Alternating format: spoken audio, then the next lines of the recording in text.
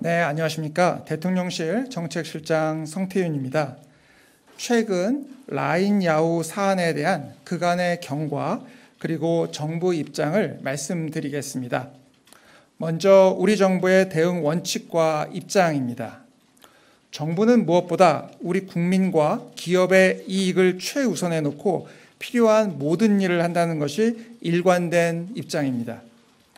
이런 원칙 하에서 정부는 지금까지 네이버의 입장을 최대한 존중하여 그동안 정부 대응에 반영해 왔고 관련하여 네이버의 추가적인 입장이 있다면 그에 대해서도 정부 차원에서 모든 지원을 다할 것입니다.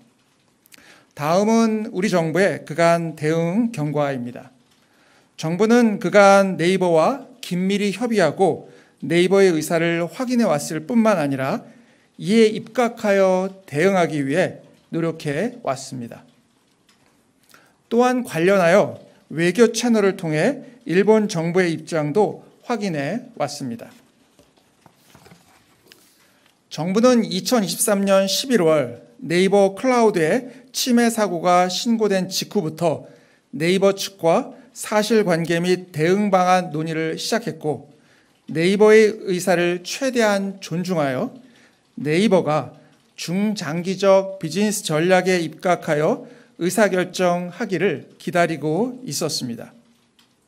그 과정에서 4월 26일 주일 한국 대사관을 통해 일본 총무성 관계자를 만나 행정 지도에 대한 사실 관계를 확인하였으며 4월 29일에는 네이버 측과 면담을 진행하여 확인된 일본의 입장을 공유하는 등 네이버와 긴밀히 소통해 왔고 현재도 계속 소통 중에 있습니다.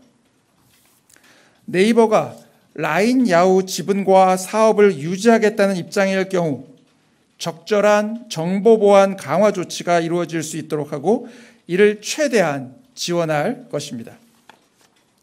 네이버가 자본 구조 변경 이외의 정보 보안을 강화하는 데 필요한 정부 차원의 조치와 모든 지원을 해 나갈 것입니다. 네이버는 정부와 국민의 관심이 높은 이 사안에 대하여 정보 보안 수준을 강화할 수 있는 계기가 되기를 바랍니다. 아울러 정치권에 대해서도 초당적 협조를 요청드립니다. 일각의 반의를 조장하는 정치 프레임이 국익을 훼손하고 우리 기업을 보호하고 이해관계를 반영하는데 도움이 되지 않는다는 것은 분명합니다. 정부는 우리 기업이 해외로부터 어떠한 불합리한 처분이나 불리한 여건 없이 자율적으로 의사결정을 할 수 있도록 최대한 지원해 나갈 계획이며 우리 기업의 의사에 조금이라도 반하는 부당한 조치에 대해서는 단호하고 강력하게 대응해 나갈 것입니다.